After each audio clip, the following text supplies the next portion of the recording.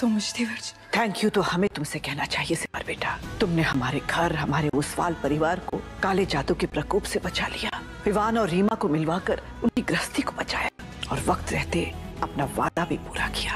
सिमर ने बचाई रीमा की जान। बड़ी माँ ने किया रीमा को घर में वेलकम जी हाँ कलर्स के popular TV serial Sasural Simar का टू के अपकमिंग एपिसोड में हम देखेंगे कि आखिर रुद्र और उसकी बहन मायाक्षी हार जाते हैं सिमर से।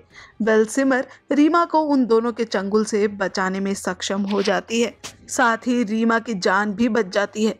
वही हम आगे देखेंगे कि विवान बड़ी माँ के आगे हाथ जोड़कर विनती करता है कि वो रीमा को घर में वापस आने दे। वहीं बड़ी माँ भी इमोशनल हो जाती है और रीमा को घर में वेलकम करने के लिए पूरी तरह से तैयार हो जाती है। साथ ही हम देखेंगे कि बड़ी माँ सिमर का धन्यवाद करती हैं कि उसने रीमा की जान बचाई। साथ ही अपने वादे को भी समय से पूरा किया। वेल एक बार फिर से ओसवाल मैंशन में खुशी की लहर हमें देखने को मिलेगी। वेल इस पूरी अपडेट को लेकर आप क्या कुछ कहना चाहेंगे, हमें कमेंट के ज़रिए ज़रूर बताएँ।